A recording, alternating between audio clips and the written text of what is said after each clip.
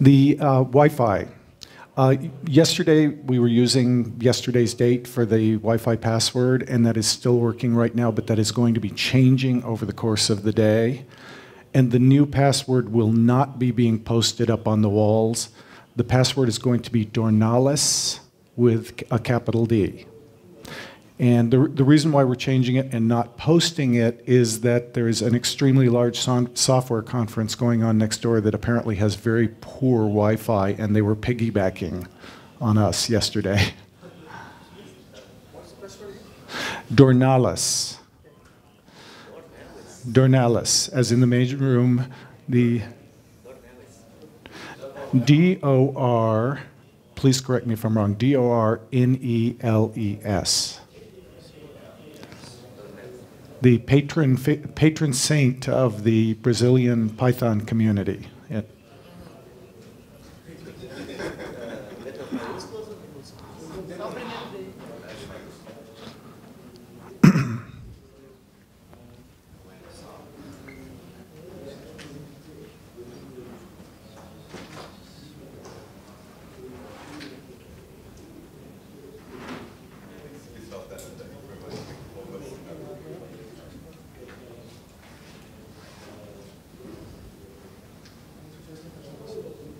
So since the password will not be posted, do feel free to tell people during the day. There may be places where the old password works instead of the new while the transition is taking place.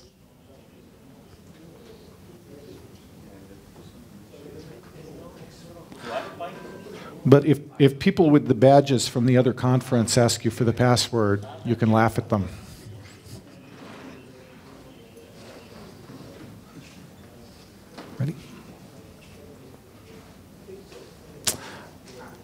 Are the audiovisual people ready?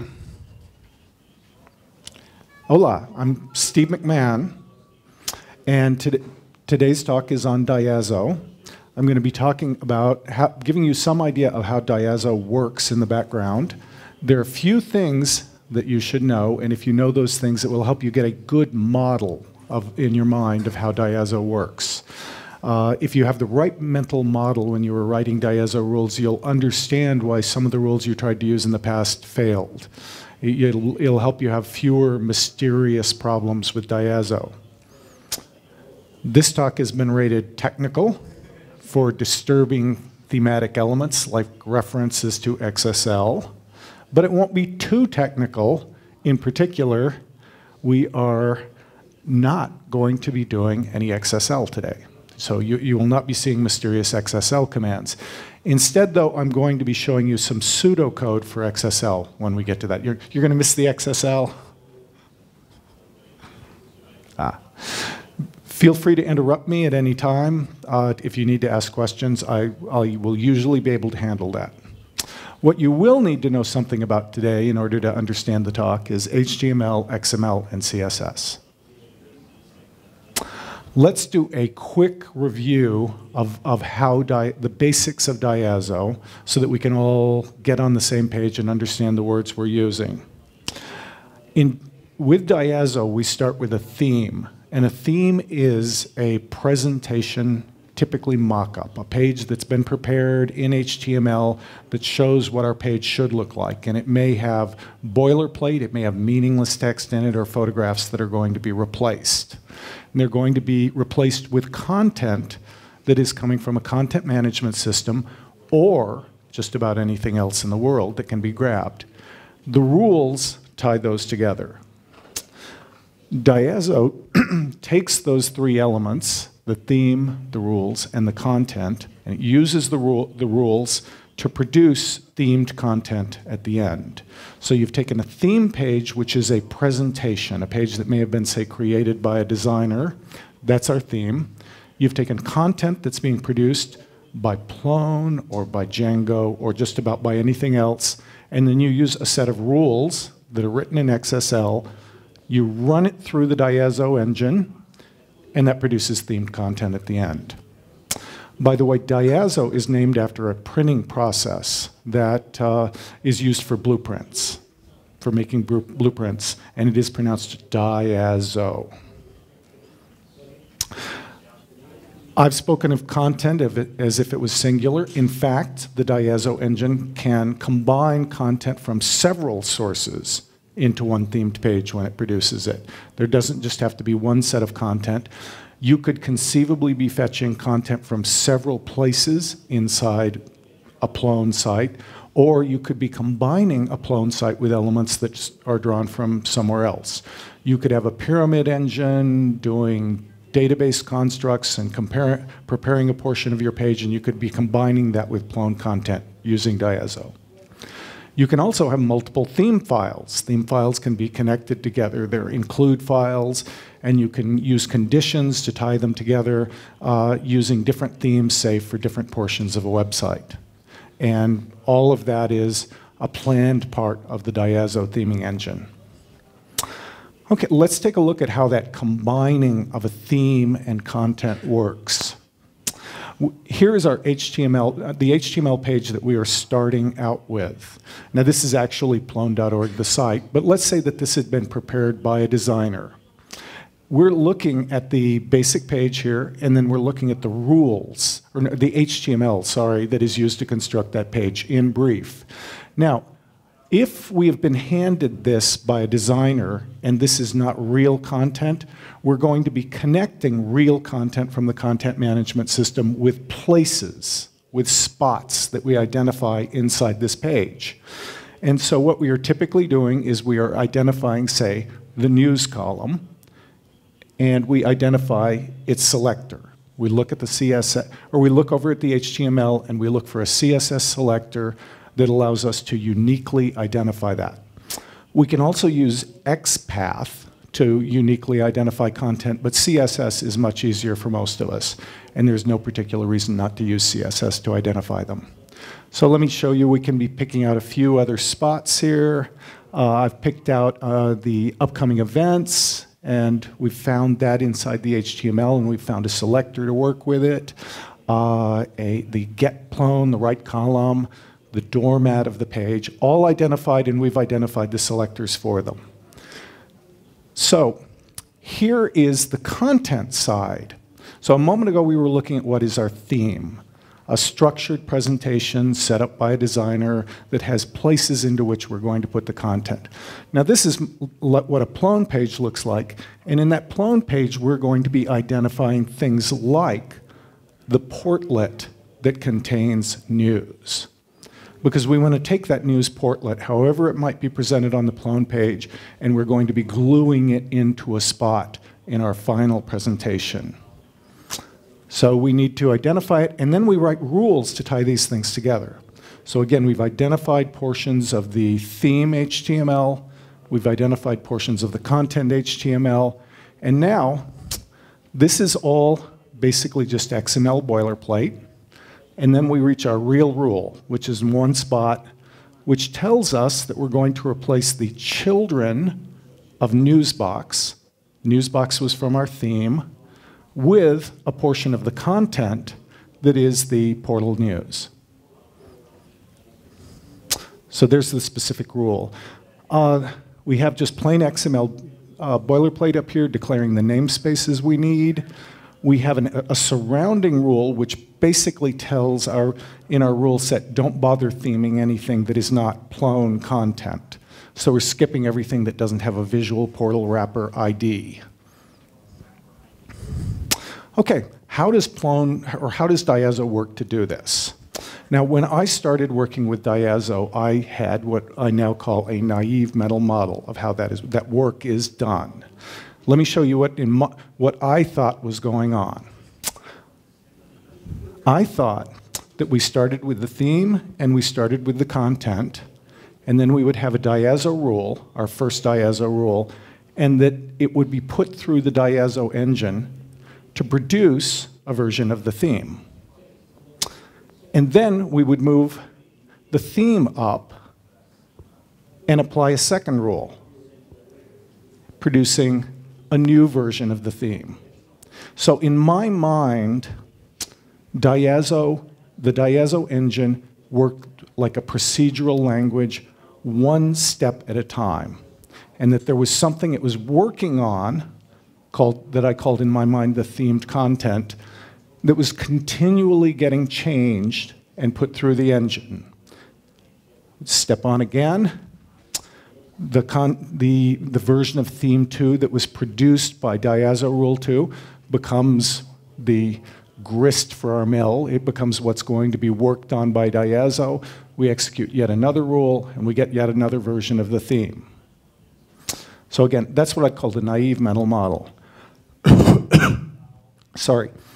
That naive model, though, breaks down. I mean, you can't really hold that model together any longer when you start doing things like content drops and replaces. A content drop is when you're not trying to put a piece of content into the theme page, you're trying to make it disappear. You're trying to make it not appear. So you're grabbing some big portion of news, but you're omitting an item. That's a content drop. So let's see how we might try and think about that in our model. We have theme and we have content and we have a diazo content rule, like one that does a drop or a replace. Well, in my mind, I had this picture where Diazo was sort of cooking the content to produce cooked content, and that went up and it somehow became a portion of the inputs that we would attack with the rest of our Diazo rules, but what would we be producing at the end? And the problem with thinking this way is I wasn't getting the right results. I was trying to think procedurally with Diazo as if it was a programming language, the Diazo rules, and as a result, I was getting into all sorts of mysteries about how things like content drop rules worked and how they, enter, how they mixed in with the other rules. Have other folks run into that sort of mystery? Or was I alone and naive? Okay, let's move on and try and get, get now a better mental model of how Diazo works.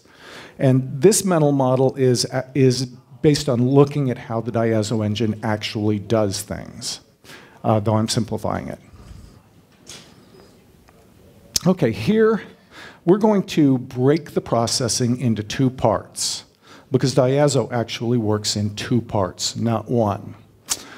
In part one of the process, only the theme and rules are visible. The content is not visible during the first part of the processing at all. Diazo processes the theme and the rules, and it produces an XSL template, an extensible style sheet language template. That template, if you look at it, will actually contain a fair portion of the content mixed in with XSL rules, with XSL transformation rules. So in reality, Diazo takes the theme and the rules, it is not looking at the content at all in the first step, and it produces an XSL template. Then, that XSL template is combined with the content, and it is put through the XSL transformation engine to produce the output page. Yes? Does this XSL template, uh, is it accessible for, us to? It can be. If you are using plone.app.theming, this process is hidden from you. The, the two seem combined in one step, but in fact, it is two separate steps. Uh, but you, you do not have to use plone.app.theming. You can use the Diazo engine outside of it. And you can use the transformation engines from a variety of sources to do that. So you can see I was anticipating your question exactly. plone.app.theming is one of the transformation engines that you can use. plone.app.theming applies the Diazo rules to produce the XSL template, and then it passes it through the passes it through the XSLT transform with the content to get the output page.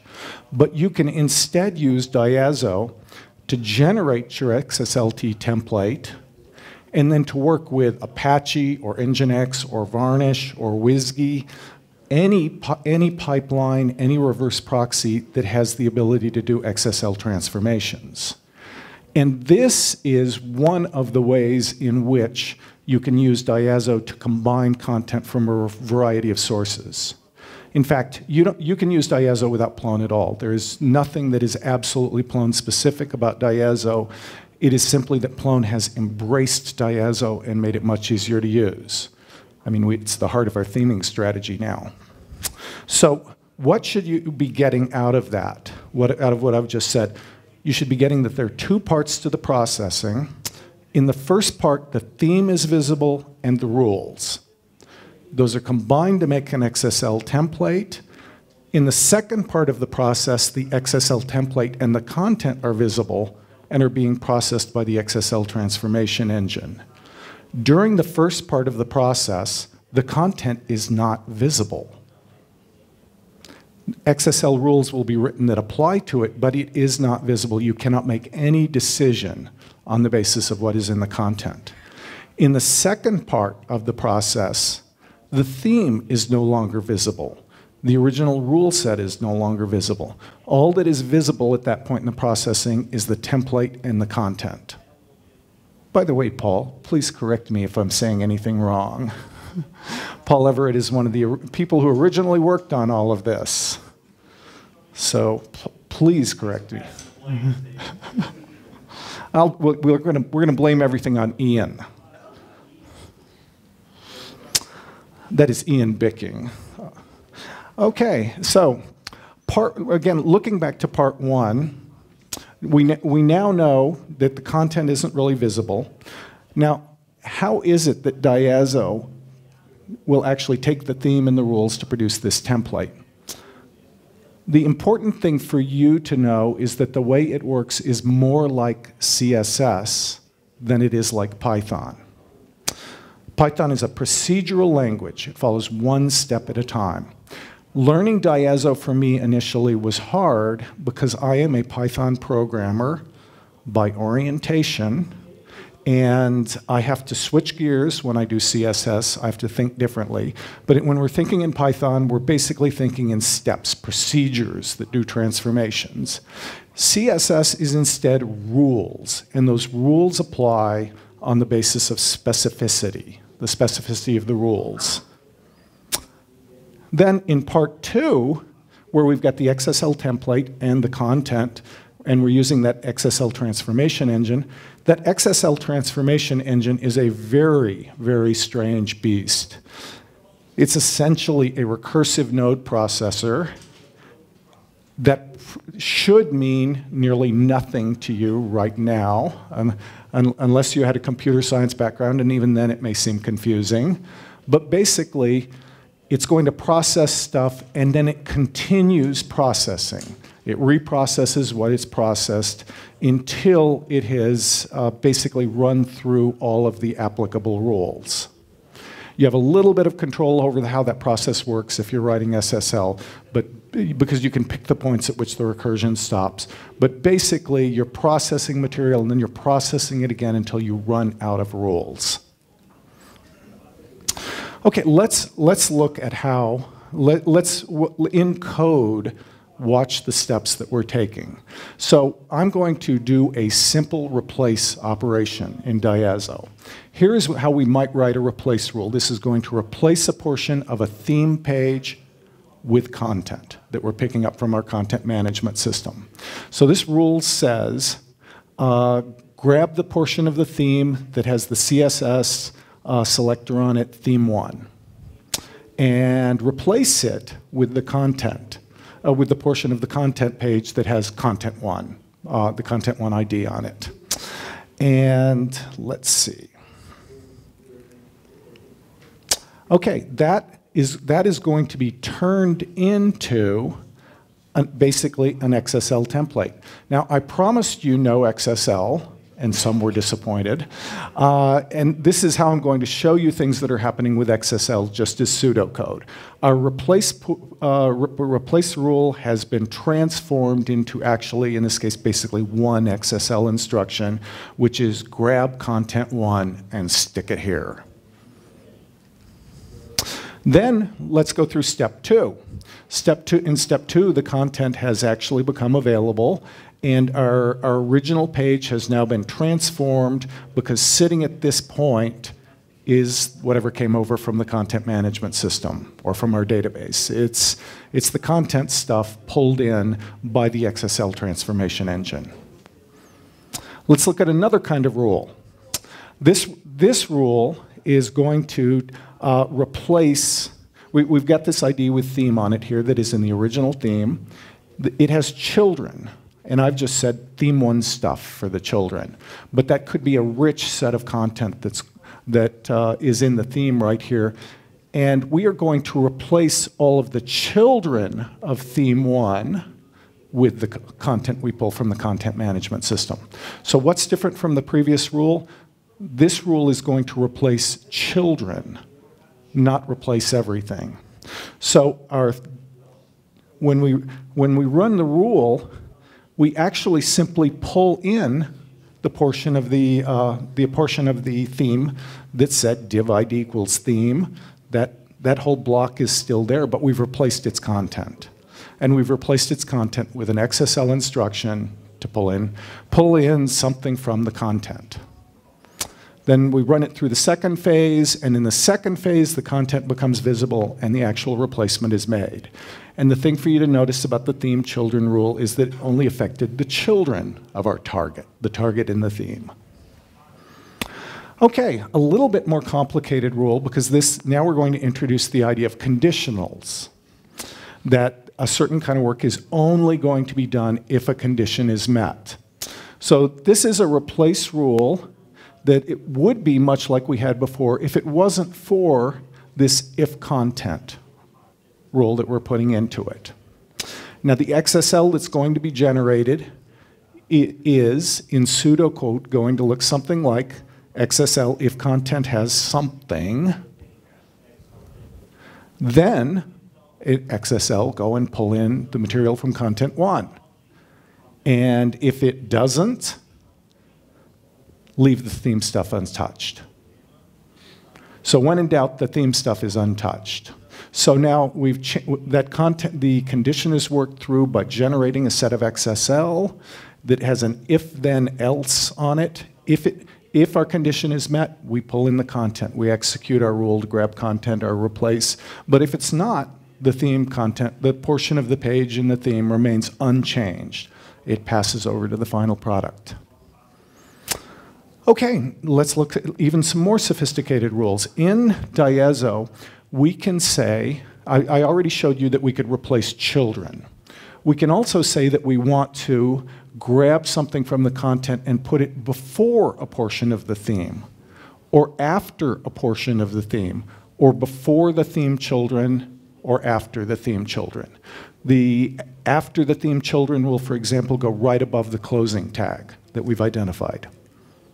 So in XSL, we're going to pull in whatever we want that was in the content before. So here's our before rule.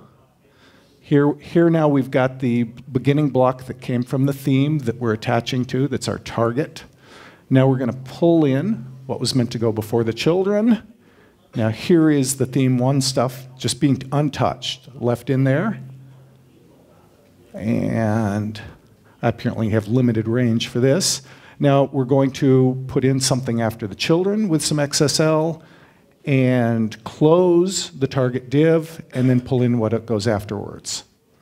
Okay, now I have written my rules in that order, but order doesn't matter. It doesn't matter at all. I can completely reorder those rules and it's going to produce exactly the same template. The, uh, it is a good idea to order your rules the way I originally did for readability's sake so that you can understand your, your rules. But it has nothing at all to do with what gets generated. If your level of specificity is the same, order doesn't matter.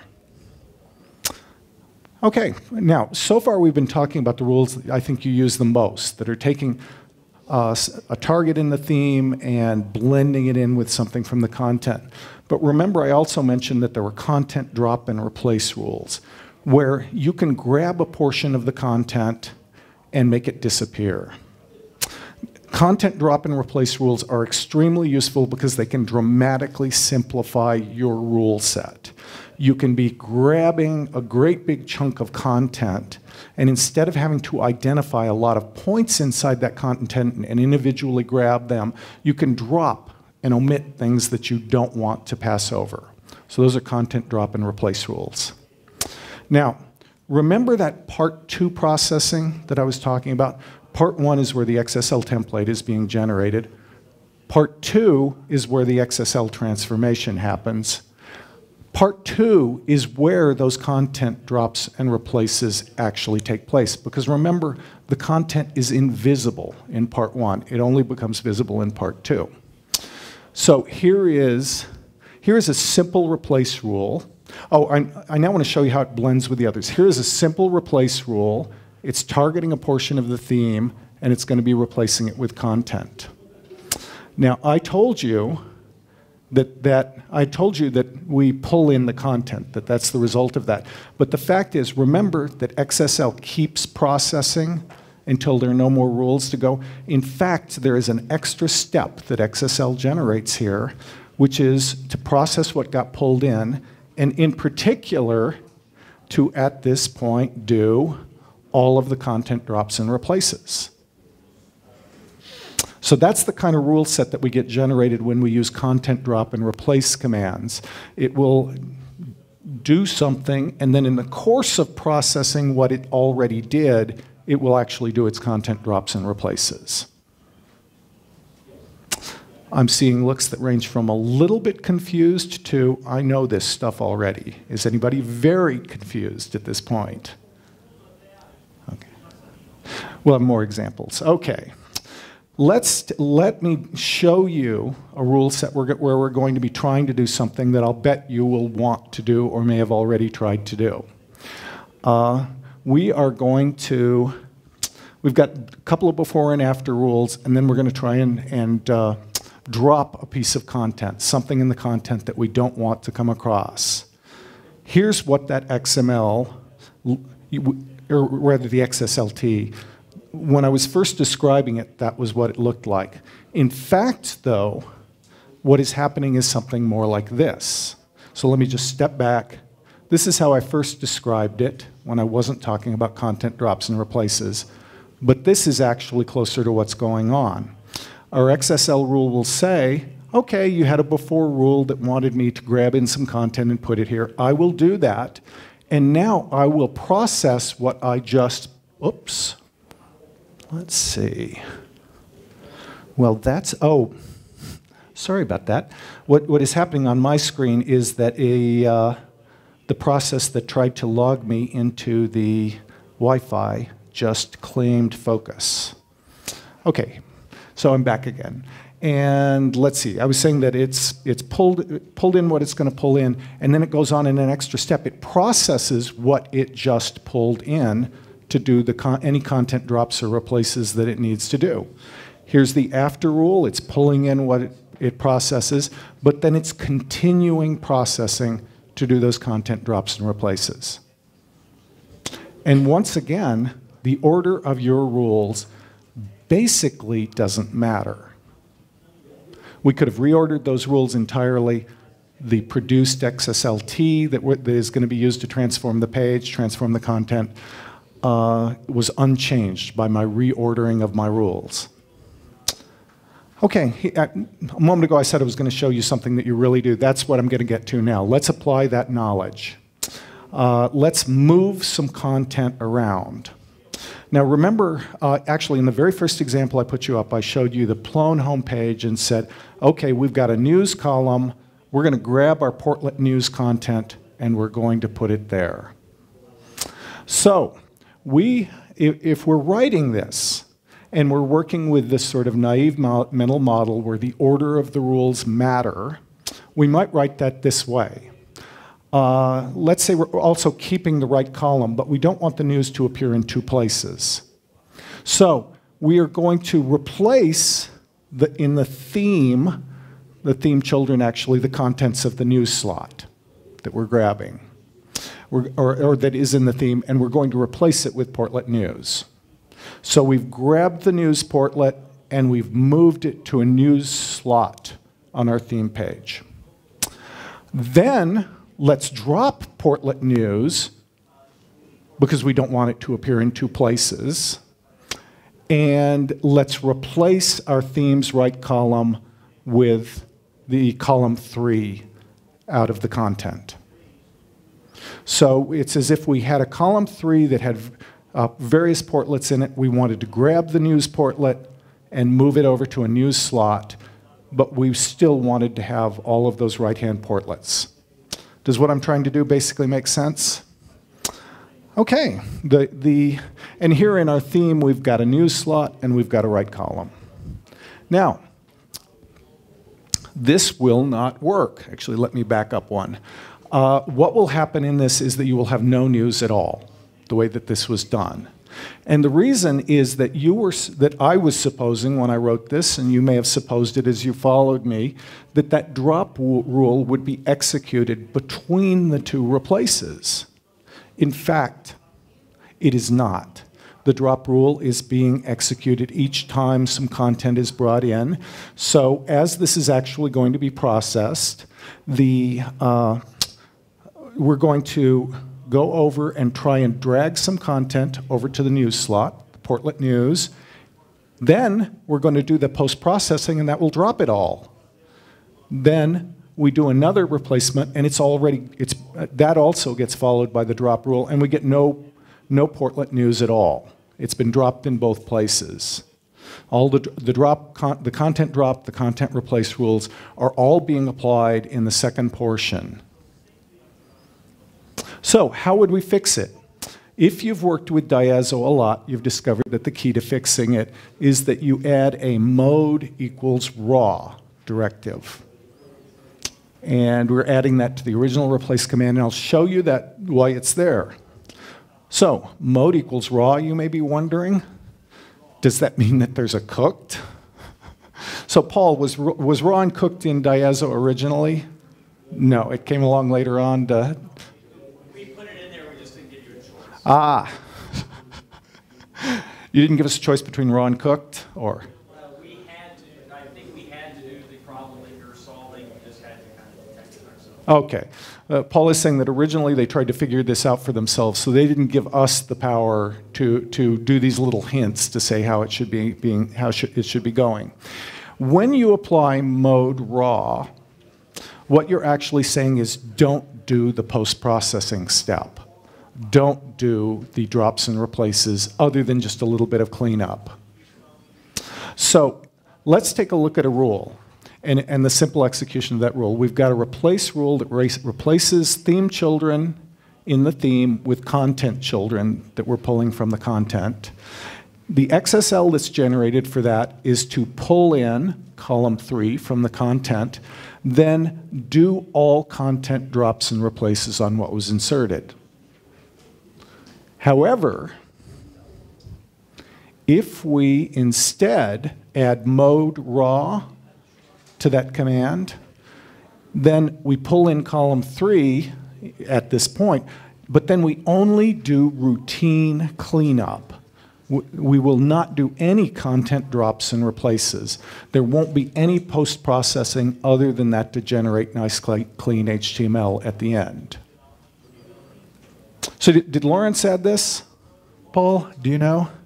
Or did, did Laurence, did, did Laurence add the mode raw? Laurence Rowe. Laurence Rowe was the person who made the transition from XDV, the predecessor, to Diazo. Okay, what lessons should you have learned from this? The first is that rule order mostly doesn't matter. Order rules for clarity. When you're writing the rules, order them for clarity. When would rule order matter?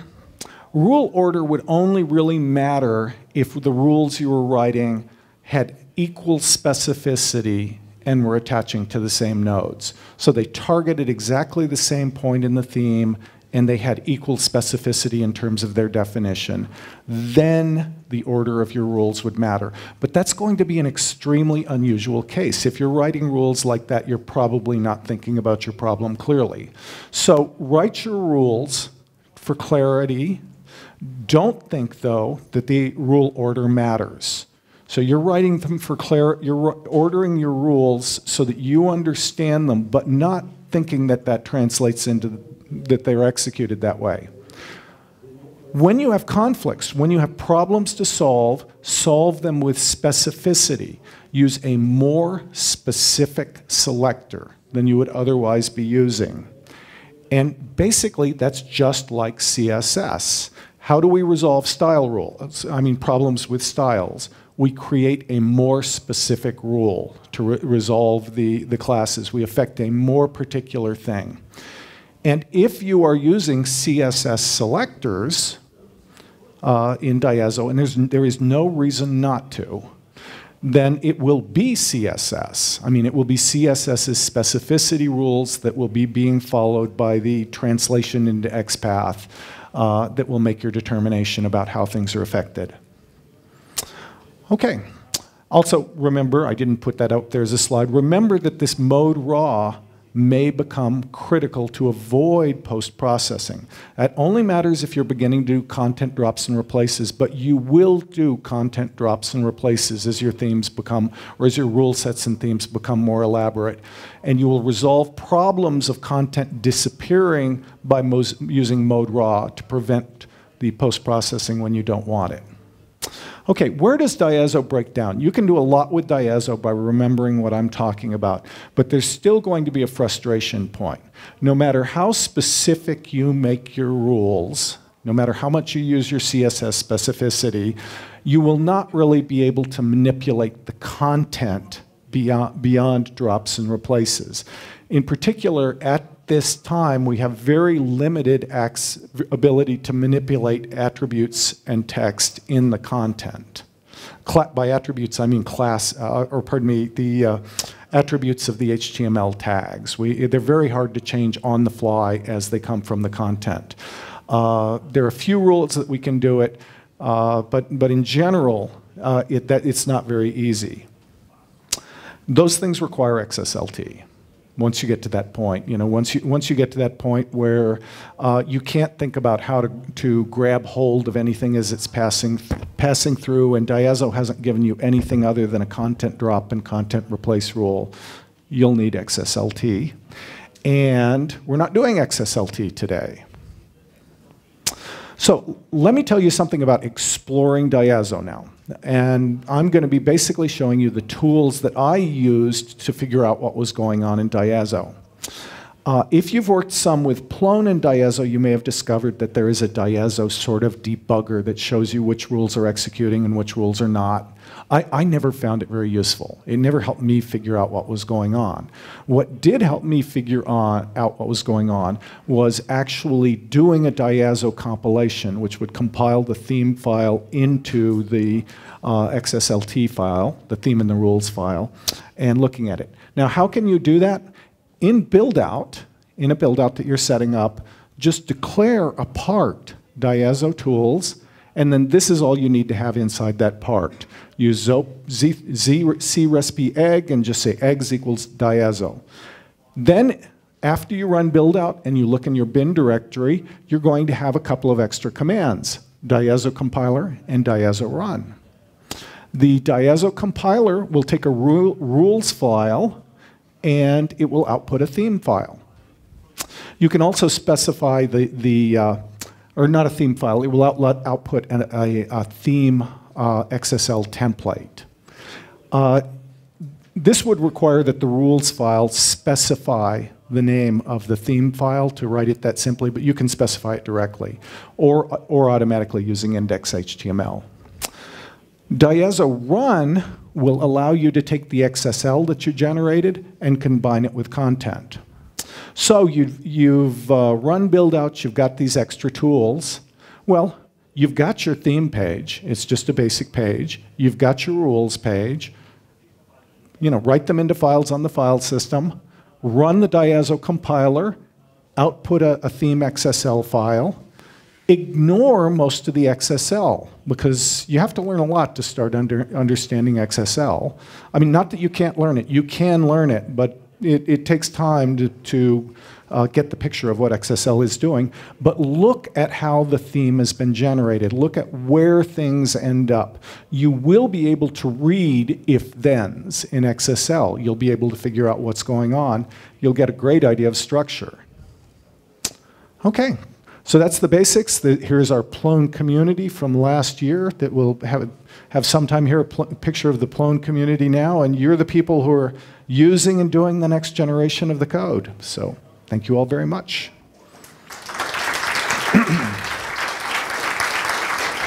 so.